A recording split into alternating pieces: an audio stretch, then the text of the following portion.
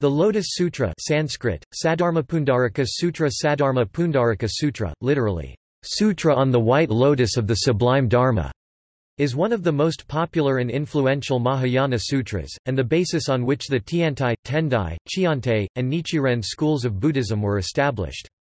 According to Paul Williams, for many East Asian Buddhists since early times the Lotus Sutra contains the final teaching of the Buddha, complete and sufficient for salvation.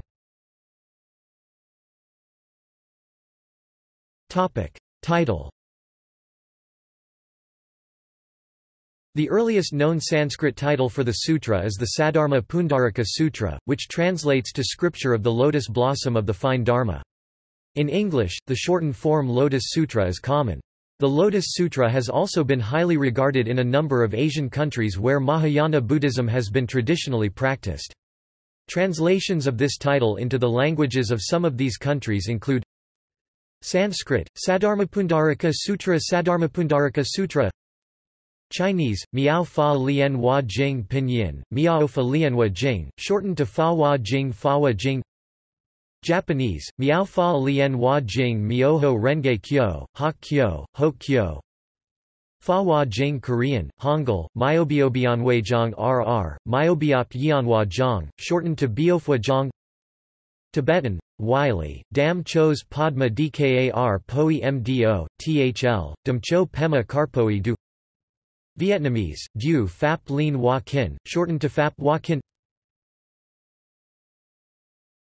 Topic. Textual history Topic. Formation In 1934, based on his text-critical analysis of Chinese and Sanskrit versions, Kogaku Fuse concluded that the Lotus Sutra was composed in four main stages.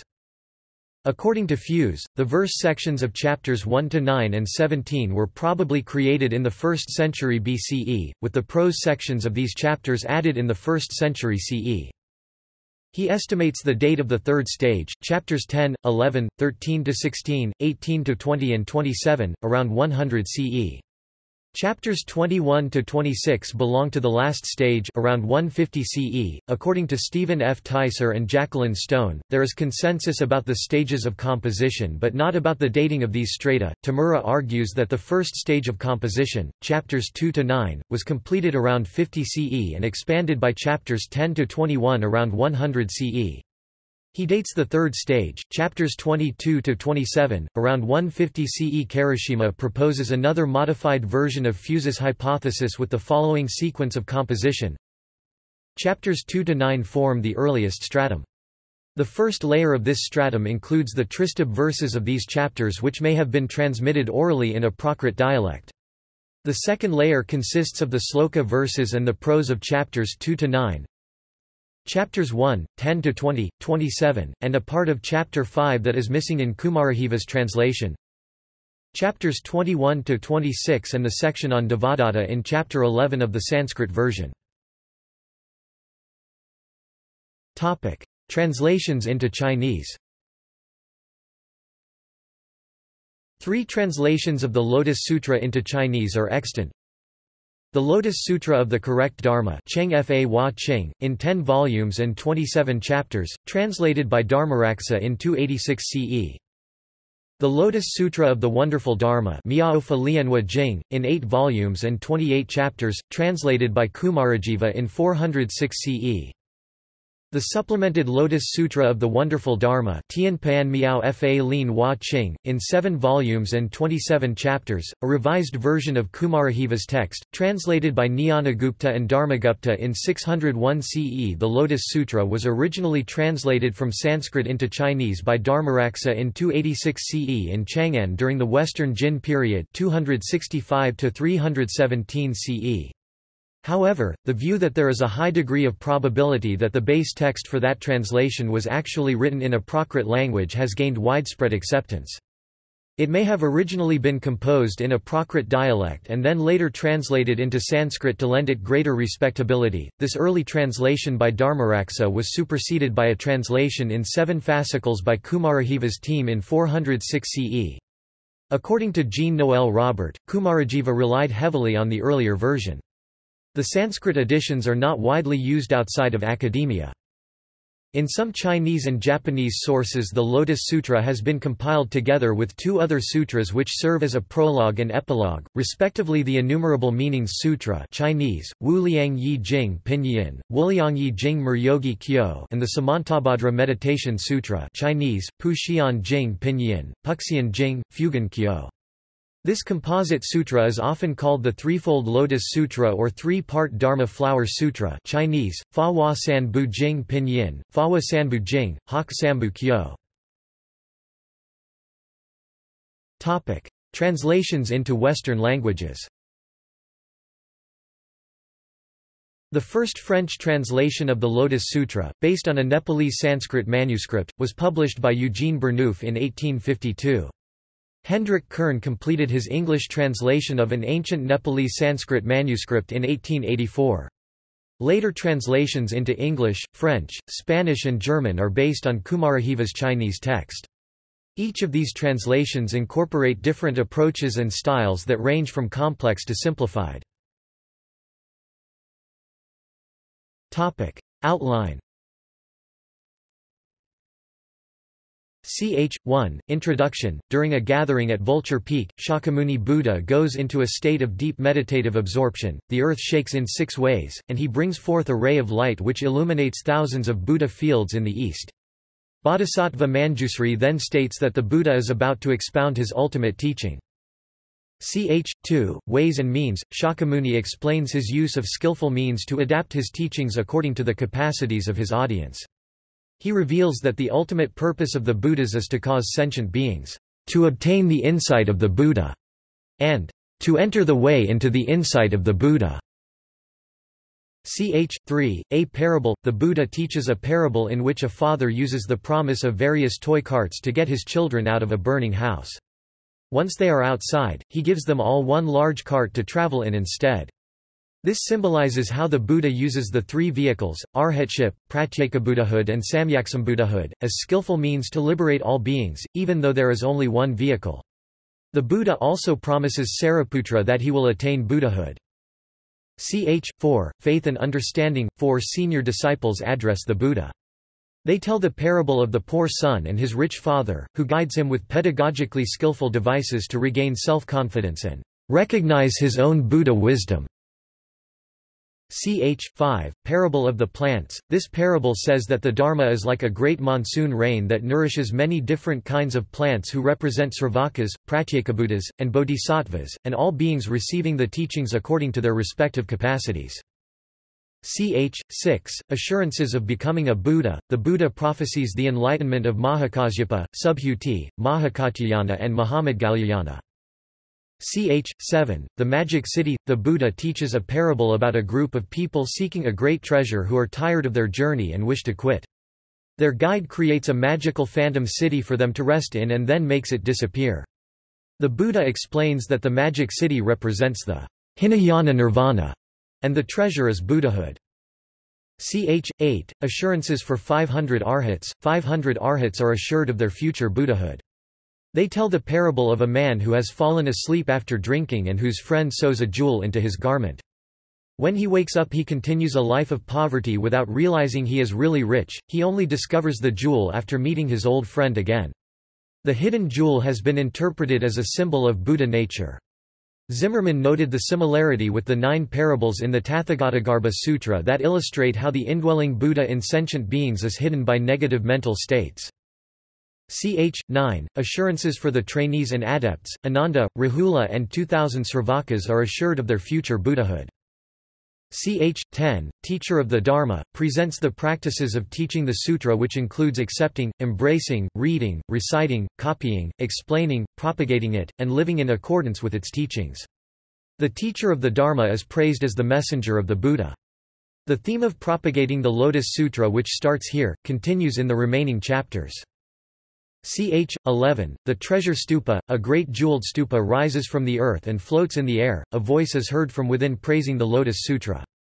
Another Buddha resides in the tower, the Buddha Prabhutaratna who is said to have made a vow to make an appearance to verify the truth of the Lotus Sutra whenever it is preached. Countless manifestations of Shakyamuni Buddha in the Ten Directions are now summoned by the Buddha. Thereafter Prabhutaratna invites Shakyamuni to sit beside him in the jeweled stupa. This chapter reveals the existence of multiple Buddhas at the same time and the doctrine of the eternal nature of Buddhahood.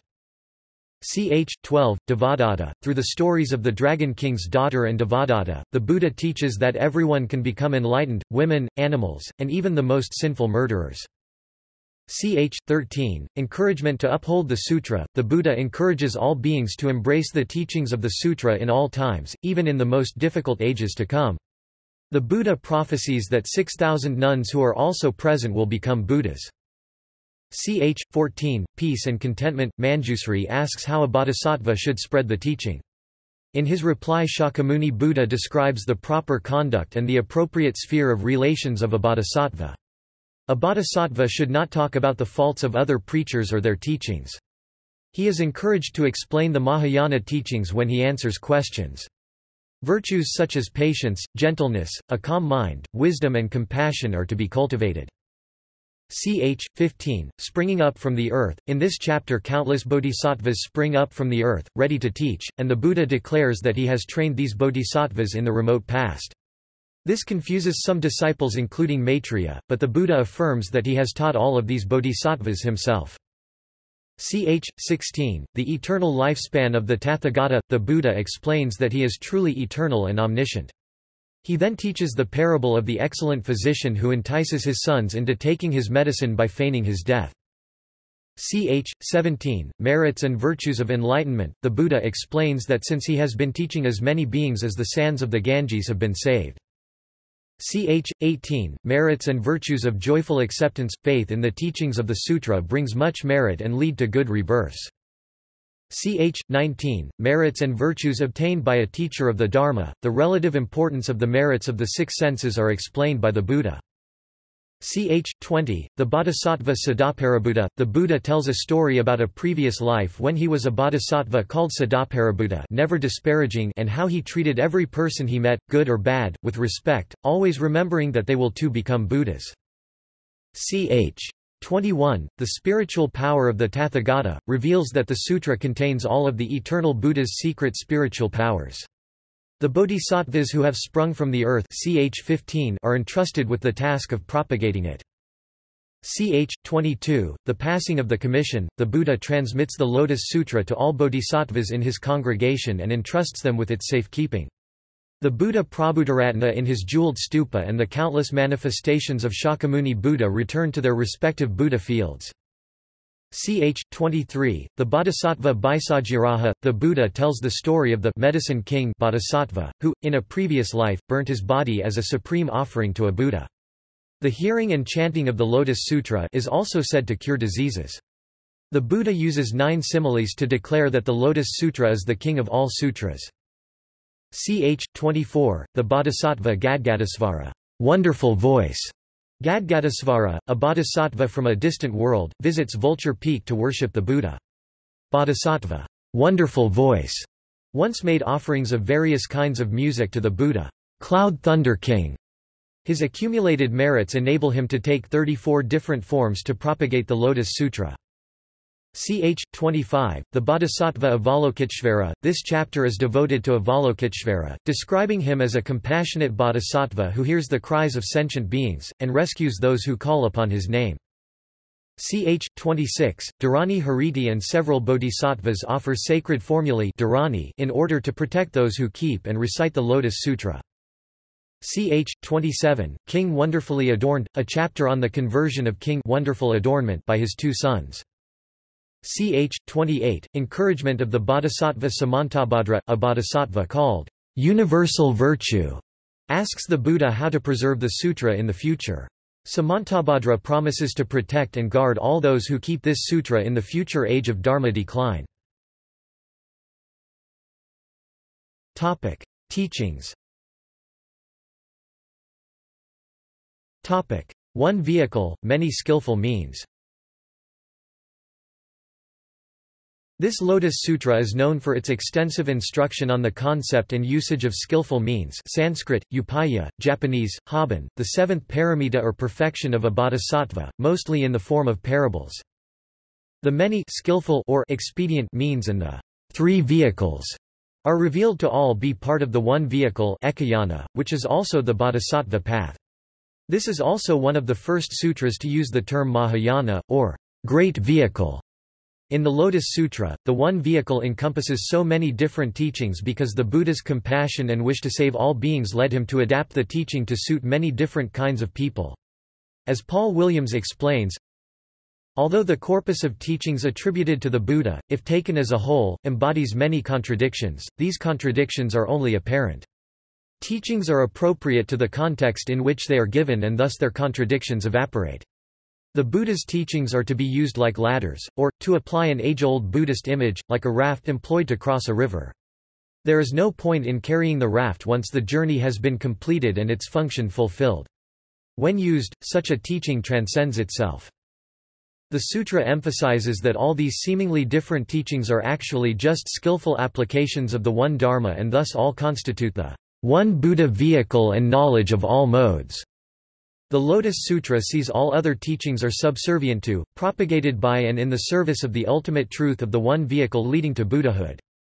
The Lotus Sutra also claims to be superior to other sutras and states that full Buddhahood is only arrived at by exposure to its teachings and skillful means. All beings have the potential to become Buddhas. The Lotus Sutra is also significant because it reveals that women, evil people and even animals have the potential to become Buddhas. It in fact teaches that beings have the potential to become Buddhas in their present form, and provides instructions including, having faith in, following and practicing, not slandering, and truly refuting any slander of it and its teachings.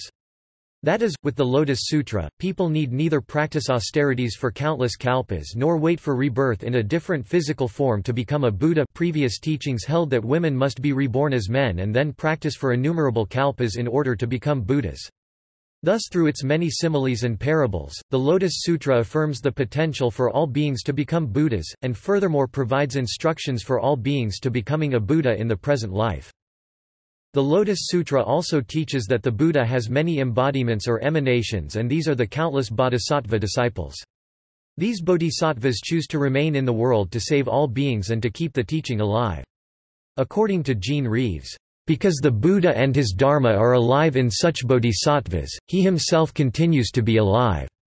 The fantastically long life of the Buddha, in other words, is at least partly a function of and dependent on his being embodied in others.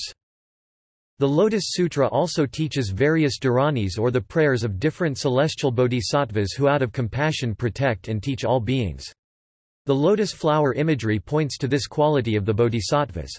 The lotus symbolizes the bodhisattva who is rooted in the earthly mud and yet flowers above the water in the open air of enlightenment. The universe outlined by the Lotus Sutra encompasses realms of gods, devas, dragons, and other mythological beings, requiring numerous dimensions to contain them.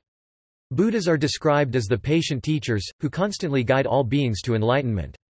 The radical message of the Lotus Sutra therefore includes the fact that all beings have the potential to become Buddhas and teach the Dharma here and now. The nature of the Buddhas Another concept introduced by the Lotus Sutra is the idea that the Buddha is an eternal entity, who achieved nirvana eons ago, but remains in the world to help teach beings the Dharma time and again.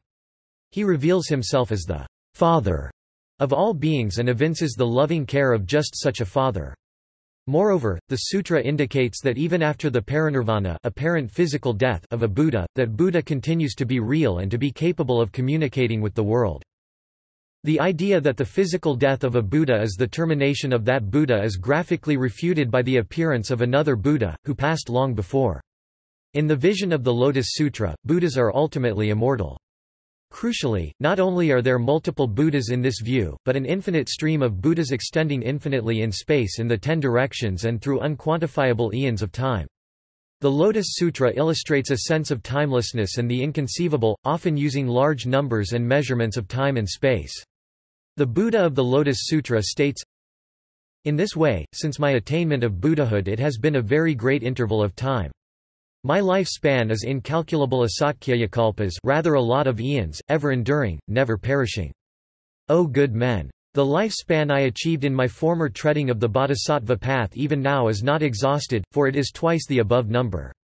Yet even now, though in reality I am not to pass into extinction enter final nirvana, yet I proclaim that I am about to accept extinction. By resort to these expedient devices this skill in means the thus come one the Tathagata teaches and converts the beings. Impact According to Donald Lopez, the Lotus Sutra is arguably the most famous of all Buddhist texts, presenting a radical revision of both the Buddhist path and of the person of the Buddha.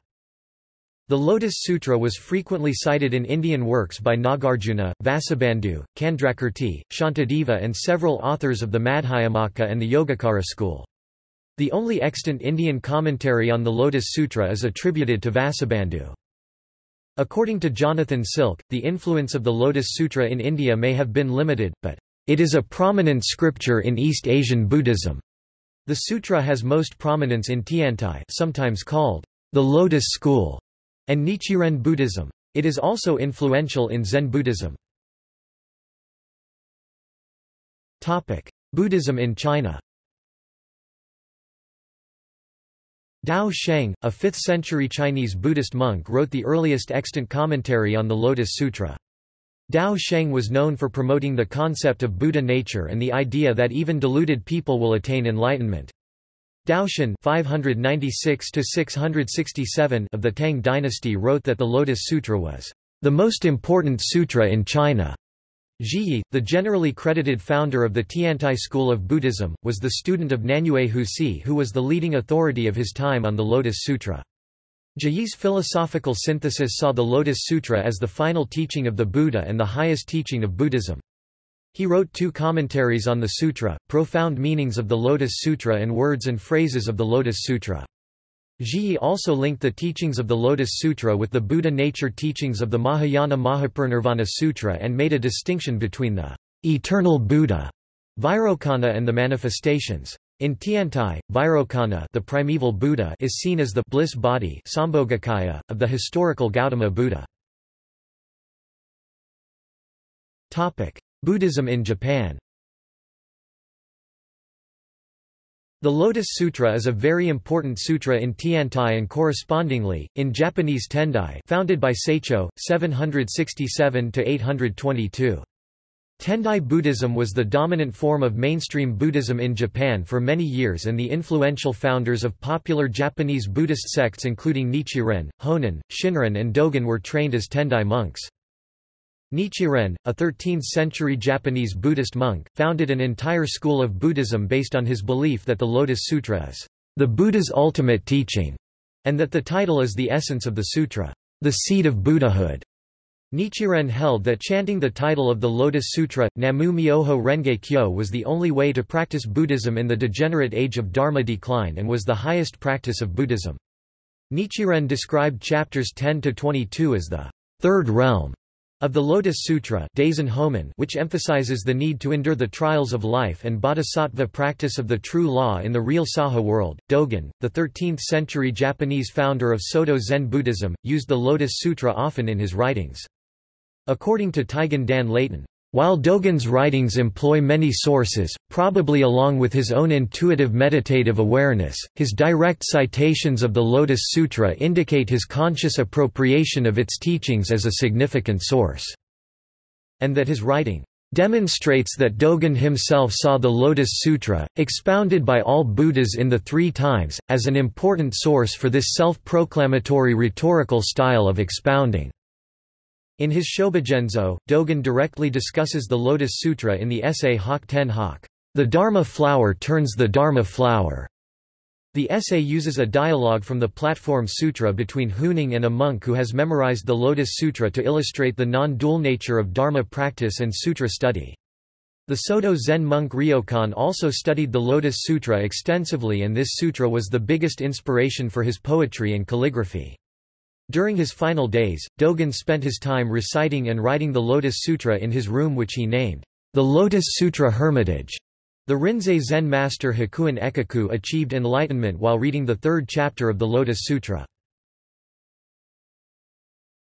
Topic. Influence on East Asian culture The Lotus Sutra has had a great impact on literature, art, and folklore for over 1,400 years. Art Various events from it are depicted in religious art. Wang argues that the explosion of art inspired by the Lotus Sutra, starting from the 7th and 8th centuries in China, was a confluence of text and the topography of the Chinese medieval mind in which the latter dominated. Motifs from the Lotus Sutra figure prominently in the Dunhuang caves built in the Sui era. The theme of Shakyamuni and Prabhutaratna Buddhas seated together as depicted in the 11th chapter of the Lotus Sutra can be seen in a bronze plaque year 686 at Hayes Dera Temple in Japan and, in Korea, at Dabotap and Seokgatap pagodas, built in 751, at Bulguksa Temple. Literature Tamura refers to the Lotus Sutra literary genre its ideas and images are writ large in great works of Chinese and Japanese literature such as The Dream of the Red Chamber and The Tale of Genji. The Lotus Sutra has had an outsized influence on Japanese Buddhist poetry. Far more poems have been Lotus Sutra inspired than other sutras. In the work Kanwa Teisho Myoho Renge Kyo, a compendium of more than 120 collections of poetry from the Heian period, there are more than 1360 poems with references to the Lotus Sutra in just their titles. Topic: Folklore. The Lotus Sutra has inspired a branch of folklore based on figures in the sutra or subsequent people who have embraced it. The story of the Dragon King's daughter, who attained enlightenment in the 12th chapter of the Lotus Sutra, appears in the complete tale of Avalokiteshvara and the Southern Seas and the precious scroll of Sudana and Longnu folk stories.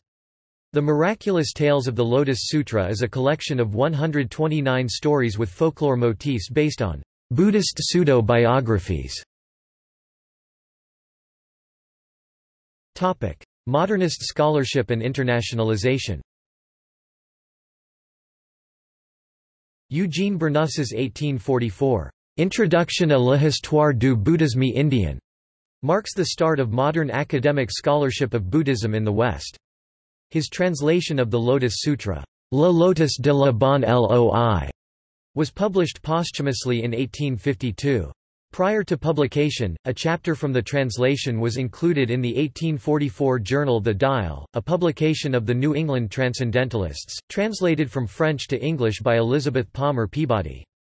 A translation of the Lotus Sutra from Sanskrit was completed by Kern in 1884. Western interest in the Lotus Sutra waned in the latter 19th century as Indo-centric scholars focused on older Pali and Sanskrit texts. However, Christian missionaries in the late 19th and early 20th centuries, based predominantly in China, became interested in Kumarajiva's translation of the Lotus Sutra into Chinese. These scholars attempted to draw parallels between the Old and New Testaments to earlier Nikaya Sutras and the Lotus Sutra. Abbreviated and Christocentric Translations were published by Richard and Soothill, according to Shields' Modern East. Interpretations of the Lotus Sutra begin with the early 20th-century nationalist applications of the Lotus Sutra by Chigaku Tanaka, Nissho Honda, Senoo, and Nissho Inoue. In the post-World War II years, scholarly attention to the Lotus Sutra was inspired by renewed interest in Japanese Buddhism as well as archaeological research in Dunhuang. This led to the 1976 Leon Hurvitz publication of the Lotus Sutra based on Kumarajiva's translation. Whereas the Hurvitz work was independent scholarship, other modern translations were sponsored by Buddhist groups, Kato Bunno 1975, Nichiren Shu, Rissho Kosei Kai, Murano Senchu 1974, Nichiren Shu, Burton Watson 1993, Soka Gakkai, and the Buddhist Text Translation Society Zanwa. .Japanese new religions began forming in the 19th century and the trend accelerated after World War II. Some of these groups have pushed the study of the Lotus Sutra to a global scale. While noting the importance of several Japanese new religious movements to Lotus Sutra scholarship, Lopez focuses on the contributions made by the Reiyukai and Soka Gakkai and Stone discusses the contributions of the Soka Gakkai and Rissho Kosei Kai. Etai Yamada, the 253rd head priest of the Tendai denomination conducted ecumenical dialogues with religious leaders around the world based on his interpretation of the Lotus Sutra which culminated in a 1987 summit. He also used the Lotus Sutra to move his sect from a temple Buddhism perspective to one based on social engagement. Nichiren-inspired Buddhist organizations have shared their interpretations of the Lotus Sutra through publications, academic symposia, and exhibitions. See also. Amitabha Sutra. Flower Sermon. Heart Sutra. Hokke Gisho, an annotated Japanese version of the sutra. Mahayana Sutras. Topic. Notes. Topic. References Topic. Sources. Topic. Further reading. Topic. External links. An 1884 English translation from Sanskrit by H. Kern from the Sacred Texts website. An English translation by the Buddhist Text Translation Society